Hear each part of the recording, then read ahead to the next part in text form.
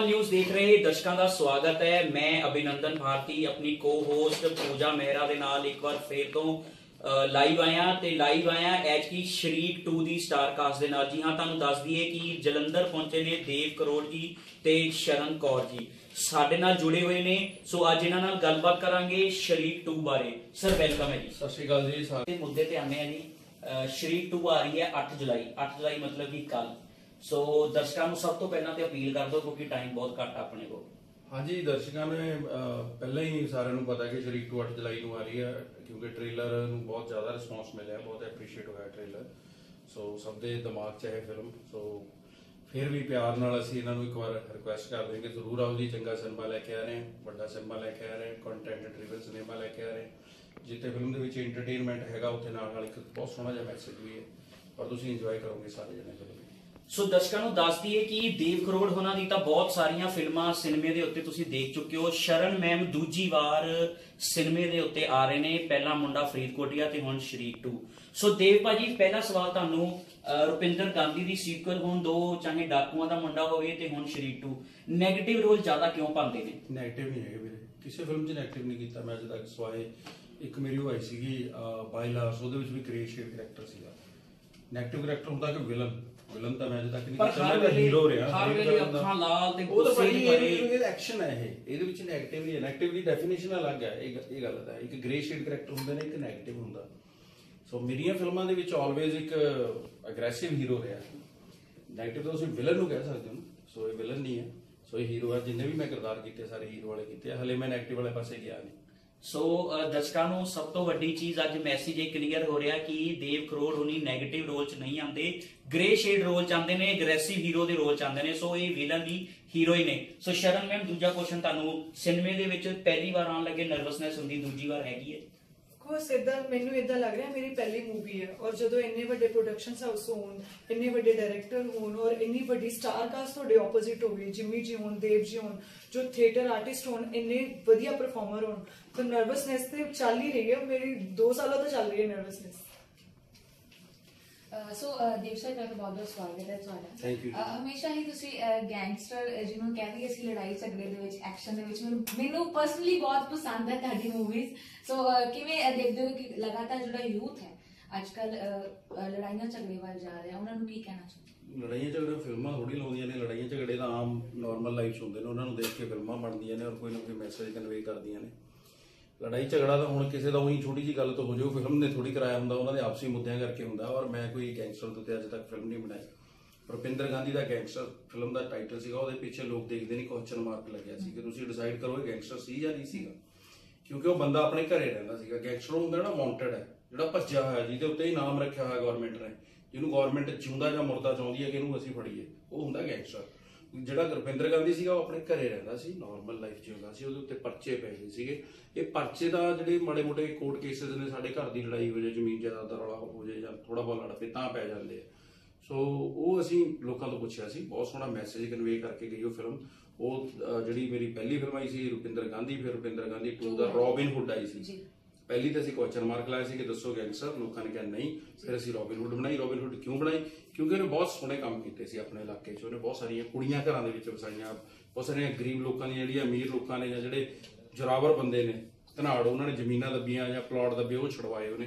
ਸੋ ਹਮੇਸ਼ਾ ਜਿਹੜੇ ਜ਼ਰੂਰਤਮੰਦ ਲੋਕ ਨੇ ਉਹਨਾਂ ਲਈ ਖੜਦਾ ਸੀਗਾ ਉਹ ਬੰਦਾ ਇੱਕ ਹੋਰ ਚੀਜ਼ ਹੈ ਕਿ ਰੁਪਿੰਦਰ ਗਾਂਧੀ ਹੁਣੇ ਜੋ ਤੁਸੀਂ ਮੂਵੀ ਕੀਤੀ ਨਾ ਐਕਸ਼ਨ ਲਗਾਤਾਰ ਉਹਦੇ ਵਿੱਚ ਦੇਖਣ ਨੂੰ ਮਿਲਿਆ ਤੇ ਹੋਰ ਇੱਕ ਚੀਜ਼ ਸੀ ਐਕਸਪੀਰੀਅੰਸ ਕਿਹੋ ਜਿਹਾ ਰਿਹਾ ਉਸ ਚੀਜ਼ ਨੂੰ ਉਹਦੇ ਵਧੀਆ ਰਿਹਾ ਜੀ character ਨੂੰ ਮੇਰਾ ਤਾਂ ਆਪਣੇ 'ਚ ਮੇਰਾ ਤਾਂ ਸਿਨੇਮਾ ਹੀ। ਮੈਸੇਜ ਦੇਣ ਵਾਲਾ ਹੈਗਾ ਤੁਸੀਂ ਕਦੇ ਸੋਚਿਆ ਸੀ ਡਾਕੂਆਂ ਦੇ ਮੁੰਡੇ ਵਰਗੀ ਨਸ਼ੇ ਤੇ ਬੇਸਡ ਫਿਲਮ ਹਿੱਟ ਹੋ ਜੂਗੀ ਜੀ।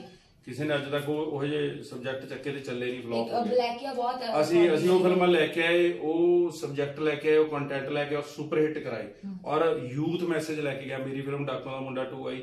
14 ਸਾਲ ਤੋਂ ਲੈ ਕੇ 30 35 ਸਾਲ ਤੱਕ ਦੇ ਨੌਜਵਾਨ ਜਿੰਨੇ ਵੀ ਸੀਗੇ ਸਾਰੇ ਕਹਿੰਦੇ ਫਿਲਮ ਦੇਖਣ ਤੋਂ ਬਾਅਦ ਅਸੀਂ ਕਦੇ ਜ਼ਿੰਦਗੀ 'ਚ ਨਸ਼ਾ ਨਹੀਂ ਕਰਾਂਗੇ। ਤਾਂ ਫਿਰ ਇਸ ਤੋਂ ਵੱਡਾ ਮੈਸੇਜ ਅਸੀਂ ਕੀ ਦੇ ਸਕਦੇ ਹਾਂ ਆਪਣੀ ਫਿਲਮਾਂ ਰਾਹੀਂ ਹਨਾ? ਸੋ ਕਿਉਂਕਿ ਲੋਕ ਮੈਨੂੰ ਫੋਲੋ ਕਰਦੇ ਨੇ ਜਿਹੜੇ ਉਹਨਾਂ ਨੂੰ ਲੱਗਦਾ ਕਿ ਦੇਵ ਬਾਈ ਇੱਕ ਮੈਸੇਜ ਕਨਵੇ ਕਰ ਰਿਹਾ ਸਾਨੂੰ ਲੈਣਾ ਚਾਹੀਦਾ। ਸੋ ਬਲੈਕੀਆ ਦੇ ਵਿੱਚ ਬਹੁਤ ਸੋਹਣਾ ਮੈਸੇਜ ਸੀਗਾ ਡੀਐਸਪੀ ਦੇਵ ਚ ਬਹੁਤ ਸੋਹਣਾ ਮੈਸੇਜ ਸੀਗਾ ਹੁਣ ਸ਼ਰੀਕ 2 ਚ ਬਹੁਤ ਸੋਹਣਾ ਮੈਸੇਜ ਲੈ ਕੇ ਮੇਰਾ ਤਾਂ ਸਿਨੇਮਾ ਹੀ ਮੈਸੇਜ ਵਾਲਾ ਸਮਾਜ ਨੂੰ ਸੇਧ ਦੇਣ ਵਾਲਾ ਐਂਟਰਟੇਨਮੈਂਟ ਦੇ ਨਾਲ ਨਾਲ ਐਕਸ਼ਨ ਕਰਨਾ ਮੈਨੂੰ ਚੰਗਾ ਲੱਗਦਾ ਔਰ ਐਕਸ਼ਨ ਸਾਡੇ ਪੰਜਾਬੀ ਹਮੇਸ਼ਾ ਲਾਈਕ ਕਰਦੇ ਆਏ ਨੇ। ਐਕਸ਼ਨ ਹੀਰੋ ਪੰਜਾਬੀ ਚ ਕੋਈ ਹੈ ਨਹੀਂ ਸੀਗਾ ਕਾਮੇਡੀ ਫਿਲਮਾਂ ਬਣਦੀਆਂ ਸੀ। ਮੈਂ ਸਾਹਮਣੇ- ਕਲਾਕਾਰਾਂ ਦਾ ਸਿਨੇਮਾ ਸ਼ੁਰੂ ਕੀਤਾ ਐਪਰੀਸ਼ੀਏਟ ਕਰੋ ਤੁਸੀਂ। ਸੋ ਨਹੀਂ, ਮੈਂ ਅਸੀਂ- ਕੋਈ ਗੈਂਗਸਟਰਾਂ ਦਾ ਸਿਨੇਮਾ ਗੈਂਗਸਟਰ ਦਾ ਨਹੀਂ ਅਸੀਂ ਬਿਲਕੁਲ। ਐਪਰੀਸ਼ੀਏਟ ਕਰ ਰਹੇ ਹਾਂ ਜੀ। ਦੇਵ ਭਾਜੀ ਦੀ ਮੂਵੀ ਚਾਹੇ ਰੁਪਿੰਦਰ ਗਾਂਧੀ ਹੋਵੇ ਚਾਹੇ ਡਾਕੂਆਂ ਦਾ ਮੁੰਡਾ ਹੋਵੇ ਇਹ ਮੈਸੇਜ ਜ਼ਰੂਰ ਅਸੀਂ ਦੇਖਣ ਨੂੰ ਮਿਲੇ ਆ ਕਿ ਲੋਕਾਂ 'ਚ ਮਿਥ ਸੀਗਾ ਉਹ ਸਾਡਾ ਕੁਐਸਚਨ ਕਰਦਾ। ਮੈਨੂੰ ਮੈਨੂੰ ਬਹੁਤ ਸਾਰੇ ਉਹ ਤੋਂ ਬਾਅਦ ਗੈਂਗਸਟਰਾਂ ਦੀਆਂ ਮੂਵੀਆਂ ਆਫਰ ਹੋਈਆਂ। ਰੀਅਲ ਲਾਈਫ ਤੇ ਪੁਰਾਣੇ ਗੈਂਗਸਟਰ ਤੇ ਕਰ ਲਓ। ਮੈਂ ਕਿਹਾ ਗਲੋਰੀਫਾਈ ਥੋੜੀ ਕਰਨੇ ਮੈਂ ਸ਼ਰਮ ਠੋਕ ਕੇ ਜਵਾਬ ਦਿੱਤਾ ਕਿ ਮੈਂ ਪੰਜਾਬ ਦੇ ਯੂਥ ਨੂੰ ਇਦਾਂ ਦੀਆਂ ਫਿਲਮਾਂ ਥੋੜੀ ਦੇਣੀਆਂ ਨੇ ਮੈਂ ਨਹੀਂ ਕੀਤੀ। ਸੋ ਅਸੀਂ ਦੱਸ ਦਈਏ ਕਿ ਅਸੀਂ ਵੀ ਹਿੰਸਾ ਨੂੰ ਪ੍ਰਮੋਟ ਨਹੀਂ ਕਰਦੇ ਲੇਕਿਨ ਐਗਰੈਸਿਵ ਹੀਰੋ ਬਤੌਰ ਇੱਕ ਮੈਸੀ ਫਿਲਮ 'ਚ ਛੱਡਣਾ ਉਸ ਸਮੇਂ ਦੀ ਜ਼ਰੂਰਤ ਹੈ ਉਹੀ ਦੇਵ ਕਰੋੜ ਜੀ ਕਰ ਰਹੇ ਨੇ। ਬਹੁਤ ਸੀਨੀਅਰ ਐਕਟਰ ਨੇ ਲੇਕਿਨ ਫਿਰ ਵੀ ਸਾਡਾ ਇੱਕ ਕੁਐਸਚਨ ਦੋਵਾਂ ਨੂੰ ਹੈ। ਸ਼ਰਨ ਮੈਮ ਤਾਂ ਦੂਜੀ ਫਿਲਮ ਹੀ ਕਰ ਰਹੇ। ਜਿੰਮੀ ਸ਼ੇਰਗਿਲ ਨਾਲ ਕੰਮ ਕਰਕੇ ਸਰ ਕਿੱਦਾਂ ਦਾ ਲੱਗਾ? ਬਹੁਤ ਵਧੀਆ ਲੱਗਿਆ ਜੀ ਬਹੁਤ ਵਧੀਆ ਐਕਟਰ ਨੇ ਔਰ ਅਸੀਂ ਸਕੂਲ ਕਾਲਜ ਟਾਈਮ ਤੋਂ ਬੰਕ ਕਰ ਕਰਕੇ ਉਹਨਾਂ ਦੀ ਫਿਲਮਾਂ ਦੇਖਦੇ ਰਹੇ ਹਾਂ। ਸੋ ਮੇਰੇ ਫੇਵਰੇਟ ਐਕਟਰ ਨੇ ਦਿਲ ਦੀ ਤਮੰਨਾ ਸੀ ਕਿ ਉਹਨਾਂ ਨਾਲ ਕੰਮ ਕਰਨਾ। ਉਹ ਤਮੰਨਾ ਪੂਰੀ ਹੋਈ ਹੈ। ਇਹ ਤੋਂ ਵੱਡੀ ਖੁਸ਼ੀ ਵਾਲੀ ਗੱਲ ਮੁਕਲ ਦੇਵ ਜੀ ਨਾਲ ਮੈਂ ਕੰਮ ਕਰਨਾ ਚਾਹੁੰਦਾ ਸੀਗਾ। ਉਹ ਤਮੰਨਾ ਮੇਰੀ ਪੂਰੀ ਹੋਈ ਹੈ। ਨਵਨੀਤ ਗੁਗਨੂ ਜਿਹੜੇ ਡਾਇਰੈਕਟਰ ਨੇ ਜਿਨ੍ਹਾਂ ਨੇ ਮੇਲ ਕਰਾ ਦੇ ਰੱਬਾ ਧਰਤੀ ਸ਼ਰੀਕ ਵਨ ਹੁਣ ਸ਼ਰੀਕ 2 ਹੋਰ ਬਹੁਤ ਸਾਰੀਆਂ ਹਿੱਟ ਫਿਲਮਾਂ ਦਿੱਤੀਆਂ। ਫਿਰ ਹਰਮੀਤ ਸਿੰਘ ਜੀ ਸਿਨੇਮੈਟੋਗ੍ਰਾਫਰ ਫਾਦਰ ਸਾਡੇ ਡਾਇਰੈਕਟਰ ਸਾਹਿਬ ਦੇ। ਉਹਨਾਂ ਨੇ ਤਾਂ ਹਿੰਦੀ ਦੀਆਂ ਕਿੰਨੀਆਂ ਫਿਲਮਾਂ 'ਚ ਸਿਨੇਮੈਟੋਗ੍ਰਾਫੀ ਕੀਤੀ ਹੈ। ਚਾਹੇ ਲਮੇ ਚਾਹੇ ਜੀਤ ਚਾਹੇ ਚਾਂਦਨੀ ਦਾਗ ਦਾ ਫਾਇਰ ਮਤਲਬ ਗਿਣਤੀਓ ਨਹੀਂ ਉਹਨਾਂ ਦਾ ਨਾਮ ਅਸੀਂ ਹਿੰਦੀ ਫਿਲਮ ਦੀ ਸਕਰੀਨ ਦੇ ਉੱਤੇ ਨੰਬਰਿੰਗ ਪੜ੍ਹਦੇ ਹੁੰਦੇ ਸੀ। ਉਹ ਅਨਿਲ ਕਪੂਰ ਲਈ, ਸਨੀ ਦਿਓਲ ਲਈ, ਸੰਜੇ ਦੱਤ ਲਈ ਲਾਈਟਿੰਗ ਕਰਦੇ ਰਹੇ ਨੇ। ਉਹਨਾਂ ਨੂੰ ਆਪਣੇ ਕੈਮਰੇ 'ਚ ਕੈਦ ਕਰਦੇ ਨੇ ਅੱਜ ਅਸੀਂ ਲਿਖੀਆਂ ਕਿ ਸਾਨੂੰ ਕੈਮਰੇ 'ਚ ਕੈਦ ਕਰ ਰਹੇ ਨੇ ਉਹ। ਸੋ ਡ੍ਰੀਮ ਕਮ ਟਰੂ ਹੈ ਜੀ ਸਾਡਾ। So Shareek 2 dream come true ਹੈ। ਹੋਪ ਹੋਪ ਹੈ ਕਿ ਦਰਸ਼ਕਾਂ ਨੂੰ ਵੀ ਡ੍ਰੀਮ ਕਮ ਟਰੂ ਹੀ ਹੋਏਗਾ। ਪੈਸੇ ਵਸੂਲ ਹੋਣਗੇ, ਮੈਸੇਜ ਜ਼ਰੂਰ ਲੈ ਕੇ ਜਾਣਗੇ। ਸ਼ਰਨ ਮੈਮ ਜਿੰਮੀ ਸ਼ੇਰਗਿਲ ਨਾਲ ਐਕਸਪੀਰੀਅੰਸ ਸ਼ੇਅਰ ਕਰ ਦਿਓ। ਕਿੱਦਾਂ ਦਾ ਰਿਹਾ? ਜਿੱਦਾਂ ਦੇਵ ਭਾਈ ਨੇ ਦੱਸਿਆ, ਹੋਰਾਂ ਦੇ ਵੀ ਨਾਮ ਲਏ ਨੇ। ਸੋ ਤੁਸੀਂ ਵੀ ਆਪਣਾ ਐਕਸਪੀਰੀਅੰਸ ਜ਼ਰੂਰ ਸ਼ੇਅਰ ਕਰੋ। ਮੇਰੇ ਲਈ ਤੇ ਪਹਿਲਾਂ ਬਹੁਤ ਹੀ ਇੱਕ ਸੁਪਨਾ ਉਹੀ ਜਿੱਦਾਂ ਸੱਚ ਯਕੀਨ ਨਹੀਂ ਆਉਂਦਾ ਕਈ ਵਾਰੀ ਕਿ ਜੋ ਜ਼ਰੂਰ ਪਰ ਜਦੋਂ ਵੀ ਮੇਰੀ ਉਹ ਸਟੋਰੀ ਸੁਣਨ ਨੂੰ ਮਿਲੀ ਸੀਗੀ, ਪਹਿਲਾਂ ਤੇ ਮੈਂ ਆਪਣੇ ਕੈਰੈਕਟਰ ਲਈ ਇੰਨੀ ਖੁਸ਼ ਹਾਂ ਕਿ ਆਪਣੀ ਪੰਜਾਬੀ ਇੰਡਸਟਰੀ ਵਿੱਚ ਕਿਸੇ ਫੀਮੇਲ ਆਰਟਿਸਟ ਨੂੰ ਇੰਨਾ ਸਟਰੋਂਗ ਕੈਰੈਕਟਰ ਨਹੀਂ ਮਿਲਿਆ। ਉਤੋਂ ਕਿਉਂਕਿ ਜਦ ਮੈਂ ਨਿਊ ਆਰਟਿਸਟ ਹਾਂ ਔਰ ਉਹਦੇ ਉੱਪਰੋਂ ਜੇ ਤੁਹਾਡੀ ਸਟਾਰ ਕਾਸਟ ਇੰਨੀ ਵਧੀਆ ਹੋਵੇ ਔਰ ਜਿਹੜੇ ਜਿਮੀ ਜੀ ਔਰ ਦੇਵ ਜੀ ਦੇ ਨਾਲ ਕੈਰੈਕਟਰ ਹੈ ਮੇਰਾ ਆਈ ਥਿੰਕ ਜਿਹੜਾ ਦੇਵ ਜੀ ਦੇ ਨਾਲ ਸੀਗਾ, ਮੈਨੂੰ ਲੱਗਦਾ ਮੈਂ ਰੀਅਲ ਲਾਈਫ 'ਚ ਥੋੜਾ ਕਨੈਕਟ ਕਰ ਸਕਦੀ ਹਾਂ। ਪਰ ਜਿਮੀ ਜੀ ਦੇ ਨਾਲ ਜਿਹੜਾ ਕੈਰੈਕਟਰ ਸੀ ਮੇਰੇ ਬਿਲਕੁਲ ਆਪੋਜ਼ਿਟ ਸੀ। ਉਹਦੇ ਵਾਸਤੇ ਮੇਰੇ ਲਈ ਮਿਹਨਤ ਕੀਤੀ ਹੈ ਮੇਰੇ ਡਾਇਰੈਕਟਰ ਨਵਨੀਤ ਜੀ ਨੇ। ਉਹ ਹਮੇਸ਼ਾ ਵੈਨਿਟੀ 'ਚ ਆ ਕੇ ਮੈਨੂੰ ਇੱਕ ਇੱਕ ਡਾਇਲੋਗ ਇੱਕ ਇੱਕ ਸੀਨ ਪ੍ਰੋਪਰ ਰਿਹਰਸ ਕਰਵਾਉਂਦੇ ਸੀ। ਕਹਿੰਦੇ ਸੀ, ਸ਼ਰਨ, ਜੇ ਕੋਈ ਵੀ ਦਿੱਕਤ ਆਂਦੀ ਹੈ on set off set just let me know ਉਸੇ ਟਾਈਮ ਜਦ ਤੱਕ ਤੂੰ ਰੈਡੀ ਨਹੀਂ ਹੋਏਗੀ, ਆਪਾਂ ਟੇਕ ਨਹੀਂ ਕਰਦੇ। ਜਦ ਇੰਨਾ ਸਪੋਰਟ ਤੁਹਾਨੂੰ ਪੂਰੀ ਟੀਮ ਤੋਂ ਮਿਲਦਾ ਹੋਏ ਨਾ ਆਟੋਮੈਟਿਕਲੀ ਤੁਹਾਡਾ ਦਿਲ ਕਰਦਾ ਕਿ ਆਪਣਾ 110% ਦਿਓ ਤੁਸੀਂ ਸੋ ਸਭ ਕੁਝ ਮੇਰੇ ਲਈ ਐਕਸਾਈਟਡ ਸੀ ਸੋ ਦੇਵ ਭਾਜੀ ਸ਼ਰੀਕ 1 ਤੋਂ ਬਾਅਦ ਸ਼ਰੀਕ 2 ਆ ਰਹੀ ਹੈ ਨਾਮ ਹੀ ਬੜਾ ਫੇਵਰੇਬਲ ਹੈ ਕਿਉਂਕਿ ਸ਼ਰੀਕ ਨੂੰ ਆਲਰੇਡੀ ਦਰਸ਼ਕ ਪਿਆਰ ਦੇ ਚੁੱਕੇ ਨੇ ਸੋ ਤੁਹਾਨੂੰ ਕੀ ਲੱਗਦਾ ਹੈ ਕਿ ਕੀ ਰਿਸਪੌਂਸ ਦਰਸ਼ਕਾਂ ਦਾ 8 ਜੁਲਾਈ ਨੂੰ ਤੁਹਾਨੂੰ ਮਿਲਣ ਵਾਲਾ ਹੈ ਅਸੀਂ ਹੁਣ ਲਾਈਵ ਸ਼ੋਅ ਕੀਤੇ ਆ ਬ੍ਰਦਰ ਪਿਛਲੇ ਲਾਸਟ ਵੀਕ ਤੋਂ ਤਾਂ ਉਥੋਂ ਪਤਾ ਲੱਗਦਾ ਕਿ ਕਿੰਨਾ ਪਿਆਰ ਕਰਦੇ ਨੇ ਕਿਵੇਂ ਅਸੀਂ ਹਜੂਮ ਦੇਖਿਆ ਸਾਡੀਆਂ ਅੱਖਾਂ ਦੇ ਸਾਹਮਣੇ ਲੋਕ ਆਉਂਦੇ ਸੀਗੇ ਪਤਾ ਹੀ ਲੱਗ ਜੇ ਕਿ ਸ਼ਰੀਕ ਦੀ ਸਟਾਰ ਕਾਸਟ ਆ ਰਹੀ ਹੈ ਤਾਂ ਉਥੋਂ ਪਤਾ ਲੱਗਦਾ ਸਾਨੂੰ ਕਿ ਰਿਸਪੌਂਸ ਬਹੁਤ ਜ਼ਬਰਦਸਤ ਆ ਤੁਸੀਂ ਲਾਈਵ ਸ਼ੋਜ਼ ਦੀ ਗੱਲ ਕੀਤੀ ਸਾਨੂੰ ਇਨਫੋਰਮੇਸ਼ਨ ਮਿਲੀ ਸੀ ਕਿ ਖੰਨੇ ਦੇ ਵਿੱਚ ਰਸ਼ ਬਹੁਤ ਜ਼ਿਆਦਾ ਹੋ ਗਿਆ ਸੀ ਜਿਹਦੇ ਕਰਕੇ ਤੁਸੀਂ ਗਾਂ ਸ਼ਹਿਰਾਂ ਦੇ ਵਿੱਚ ਲਾਈਵ ਸ਼ੋਅ ਬੰਦ ਕਰਕੇ 1 ਟੂ 1 ਚੈਨਲਸ ਦੇ ਨਾਲ ਅਲੱਗ-ਅਲੱਗ ਰੱਖੇ ਨੇ। ਸੋ ਹਾਂਜੀ, ਤੁਹਾਨੂੰ ਨਹੀਂ। ਲੱਗਦਾ ਕਿ ਰਸ਼ ਦੇ ਕੇ ਤਾਂ ਤੁਹਾਨੂੰ ਹੋਰ ਸ਼ੋਜ਼ ਕਰਨੇ ਨਹੀਂ ਨਹੀਂ ਮੈਂ ਕਿਤੇ ਰਸ਼ ਤੋਂ ਨਹੀਂ ਭੱਜਦਾ। ਲੁਧਿਆਣੇ ਦੀ ਗੱਲ ਹੈ ਕੱਲ ਲੁਧਿਆਣੇ ਬਹੁਤ ਜ਼ਿਆਦਾ ਹੋਇਆ ਫਿਰ ਅੰਮ੍ਰਿਤਸਰ ਫਿਰ ਸਾਰੇ ਕਿਤੇ ਇਦਾਂ ਕਦੇ ਰਸ਼ ਤੋਂ ਮੈਂ ਨਹੀਂ ਡਰਦਾ। ਮੈਂ ਮੇਰੇ ਚਾਹਣ ਵਾਲਿਆਂ ਨੂੰ ਅਪੀਲ ਕਰ ਦੇਣਾ ਜੇ, ਮੈਂ ਇਕੱਲਾ ਖੜਾ ਤੇ ਮੇਰੇ ਨਾਲ ਹਜ਼ਾਰ ਬੰਦਾ ਫੋਟੋ ਖਿਚਾਉਣ ਵਾਲਾ ਖੜਾ, ਤਾਂ ਪੋਸੀਬਲ ਨਹੀਂ ਹੋ ਸਕਦਾ। ਹਨਾ, ਹਜ਼ਾਰ ਬੰਦੇ ਨਾਲ ਇੱਕ ਬੰਦਾ ਫੋਟੋ ਕਰਾਉਣੀ ਅੱਛਾ, ਫਿਰ ਫੋਟੋ ਕਰਾਓ, ਫਿਰ ਨਾਲ ਹੁੰਦੇ ਆ ਮੁੰਡੇ ਵਿਚਾਰੇ ਸਿਕਿਉਰਿਟੀ ਵਾਲੇ ਬਾਉਂਸਰ ਉਹਨਾਂ ਦੀ ਆਪਣੀ ਜੌਬ ਹੈ। ਮੈਂ ਸਗੋਂ ਉਹਨਾਂ ਨੂੰ ਸਪੈਸ਼ਲ ਬੁਲਾ ਕੇ ਆਪਣੇ ਰੂਮ 'ਚ ਪੂਰੀ ਹਦਾਇਤ ਦੇਣਾ ਕਿ ਯਾਰ ਕਿਸੇ ਨੂੰ ਧੱਕਾ ਨਹੀਂ ਮਾਰਨਾ, ਕਿਸੇ ਨੂੰ ਇੰਜਰਡ ਨਹੀਂ ਕਰਨਾ, ਸਭ ਨਾਲ ਪਿਆਰ ਨਾਲ ਗੱਲ ਕਰਨੀ ਹੈ। ਸੋ ਮੇਰੀ ਕੋਸ਼ਿਸ਼ ਇਹ ਰਹਿੰਦੀ ਹੈ। ਬਟ ਕਈ ਵਾਰ ਐ ਹੁੰਦਾ ਕਿ ਤੁਹਾਨੂੰ ਹਜ਼ਾਰ ਸੋਚ ਕੇ ਦੇਖੋ ਤੁਸੀਂ ਤੁਹਾਨੂੰ ਇੰਨੇ ਬੰਦਿਆਂ ਨੇ ਘੇਰਿਆ ਹੋਇਆ। ਤੁਸੀਂ 10 15 20 25 50 ਬੰਦੇ ਤੱਕ ਦਾ ਫੋਟੋ ਕਰਾ। ਮੈਂ ਬਲੈਕੀਆ ਦੇ ਟਾਈਮ 2.5 250 ਬੰਦੇ ਨੂੰ ਮੈਂ ਖੜਾ ਕੇ ਆਪਣੀ ਵੈਨਿਟੀ 'ਚ ਇਕੱਲੇ ਇਕੱਲੇ ਨੂੰ ਬੁਲਾ ਕੇ ਪੌਣਾ ਘੰਟਾ ਘੰਟਾ ਸਪੈਸ਼ਲ ਟਾਈਮ ਦਿੰਦਾ ਫੋਟੋ ਕਰਾਉਂਦਾ ਸੀ। ਅੱਜ ਵੀ ਮੇਰੀ ਉਹੀ ਨੇਚਰ ਹੈ। ਸੋ ਕਿਉਂਕਿ ਇੰਨਾ ਕਰਕੇ ਹੀ ਅਸੀਂ ਆ। ਅਸੀਂ ਨਹੀਂ ਭਾਦੇ ਪਰ ਹਜ਼ਾਰ ਇੰਨੇ ਬੰਦਿਆਂ ਨਾਲ ਫੋਟੋ ਕਰਾਉਣੀ ਬਹੁਤ ਮੁਸ਼ਕਲ ਹੈ। ਸੋ ਮੈਂ ਤੁਹਾਡੇ ਚੈਨਲ ਦੇ ਮਾਧਿਅਮ ਰਾਹੀਂ ਇਹੀ ਗੱਲ ਕਹਿਣਾ ਕਿ ਇਹਨਾਂ ਚੀਜ਼ਾਂ ਦਾ ਗੁੱਸਾ ਨਾ ਕਰਿਆ ਕਰੋ। ਕਈ ਵਾਰ ਇਹ ਹੁੰਦਾ ਅਸੀਂ ਅਗਲੇ ਸ਼ੋਅ ਤੇ ਜਾਣਾ ਹੁੰਦਾ। ਲੇਟ ਹੋ ਰਹੇ ਹੁੰਦੇ ਆ ਹੁਣ ਇੰਨੇ ਬੰਦੇ ਨਾਲ ਸ਼ੋਅ ਕਰਾਉਣ ਲਈ ਤਾਂ ਤੁਹਾਨੂੰ 5 ਤੋਂ 6 ਘੰਟੇ ਚਾਹੀਦੇ ਸੋ ਤੁਹਾਨੂੰ ਦੱਸ ਦਈਏ ਕਿ ਵਾਈਟ ਹਿੱਲ ਦੀ ਹੀ ਮੂਵੀ ਆਈ ਸੀ ਕੈਰੀ ਔਨ ਜੱਟਾ, ਜਦੋਂ ਗਿੱਪੀ ਗਰੇਵਾਲ ਹੁਣੀ ਜਲੰਧਰ ਆਈ ਸੀਗੇ, ਅਸੀਂ ਇਹੀ ਮੁੱਦਾ ਚੱਕਿਆ ਸੀਗਾ ਕਿ ਫੋਟੋ ਨਹੀਂ ਖਿੱਚ ਹੋ ਰਹੀ ਬਾਉਂਸਰ ਰੋਕਦੇ ਨੇ ਉਹਨਾਂ ਨੇ। ਸਪੈਸ਼ਲ ਗੋਲਮਾਲ ਨਿਊਜ਼ ਦੇ ਰਾਹੀਂ ਮੈਸੇਜ ਇੱਕ ਦਿੱਤਾ ਸੀਗਾ ਕਿ ਮੈਂ ਵਾਈਟ ਸ਼ੂਜ਼ ਪਾਏ ਨੇ ਤੇ ਮੇਰੇ ਸ਼ੂਜ਼ ਬਰਾਊਨ ਹੋ ਗਏ ਨੇ ਸੋ ਮੇਰੀ ਦਰਸ਼ਕਾਂ ਨੂੰ ਅਪੀਲ ਹੈ ਕਿ ਤੁਹਾਡਾ ਦਿਲੋਂ ਥੈਂਕਸ ਹੈ ਦੇਵ ਕਰੋੜ ਕੀ ਕਰਦੇ ਨੇ। ਫੋਟੋ ਕਰਾਉਣ ਨੂੰ ਤਿਆਰ ਨੇ, ਇੱਕ ਇੱਕ ਕਰਕੇ ਉਹ ਕਰਾਣਗੇ ਪਰ ਕਰਾਊਡ ਦੇ ਵਿੱਚ ਥੋੜਾ ਔਖਾ ਹੋ ਜਾਂਦਾ। ਉਹਨਾਂ ਦੀ ਸਿਚੁਏਸ਼ਨ ਨੂੰ ਵੀ ਟਰਾਈ ਟੂ ਅੰਡਰਸਟੈਂਡ ਕਰੋ। ਸੋ ਸ਼ੈਰਨ ਮੈਮ ਘੁੰਮ ਕੇ ਤੁਹਾਡੇ ਤੇ ਆਉਂਦੇ ਆ ਤੁਸੀਂ ਭੂਮਿਕਾ ਜਿਹੜੀ ਫਿਲਮ 'ਚ ਨਿਭਾਈ ਹੈ, ਜਿੰਮੀ ਉਹਨਾਂ ਨਾਲ ਵੀ ਨਿਭਾਈ ਹੈ, ਦੇਵ ਕਰੋੜ ਉਹਨਾਂ ਨਾਲ ਵੀ ਨਿਭਾਈ ਹੈ। ਓਵਰਆਲ ਐਕਸਪੀਰੀਅੰਸ ਜਿਹੜਾ ਮੂਵੀ ਦਾ ਹੈ, ਉਹ ਤੁਹਾਨੂੰ ਕੀ ਮੈਸੇਜ ਕੀ ਦਿੰਦਾ ਹੈ, ਜੋ ਤੁਸੀਂ ਗਾਂ ਦਰਸ਼ਕਾਂ ਨੂੰ ਪਾਸ ਔਨ ਕਰਨਾ ਚਾਹੁੰਦੇ ਹੋ? ਮੈਂ ਬਸ ਇੰਨਾ ਕਹੂੰਗੀ, ਕਿਉਂਕਿ ਮੈਂ ਸੀਨ ਕਰਕੇ ਆਈ ਹਾਂ ਔਰ ਮੈਨੂੰ ਵੀ ਉਹ ਐਕਸਾਈਟਮੈਂਟ ਲੈਵਲ ਮੇਰਾ ਖਤਮ, ਮਤਲਬ ਮੈਨੂੰ ਬਹੁਤ ਜ਼ਿਆਦਾ ਐਕਸਾਈਟਮੈਂਟ ਹੈ ਕੱਲ ਦੀ ਕਿ ਕਦੋਂ ਮੂਵੀ ਰਿਲੀਜ਼ ਹੋਵੇ ਔਰ ਮੈਂ ਦੇਖਾਂ ਸਕਰੀਨ ਤੇ, ਮੇਰੇ ਕੋ ਵੇਟ ਨਹੀਂ ਹੋ ਰਿਹਾ।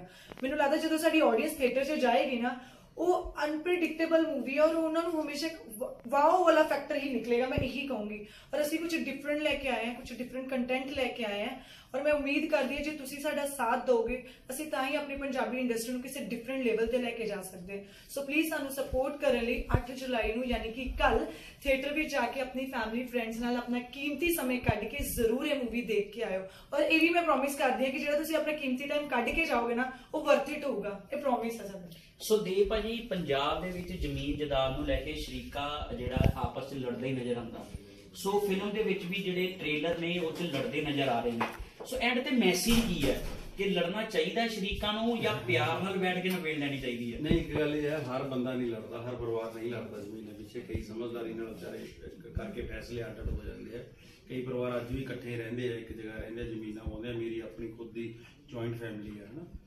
ਸੋ ਕਈ ਵਾਰ ਹੋ ਜਾਂਦੇ ਸਰਕਮਸਟੈਂਸਸ ਬਣ ਜਾਂਦੇ ਬਟ ਥੋੜੀ ਪਿੰਡਾਂ ਦੀ ਸ਼ਰੀਕੇਬਾਜ਼ੀ ਇਸ ਕਰਕੇ ਬਦਨਾਮ ਹੋਈ ਹੋਈ ਹੈ, ਕਿਉਂਕਿ ਉੱਥੇ ਵੱਟਾਂ ਪਿੱਛੇ, ਜ਼ਮੀਨਾਂ ਪਿੱਛੇ ਮਰਡਰ ਹੋਏ ਨੇ, ਕਤਲ ਹੋਏ ਨੇ ਆਪਸੀ ਭਾਈਚਾਰੇ ਦੇ ਵਿੱਚ।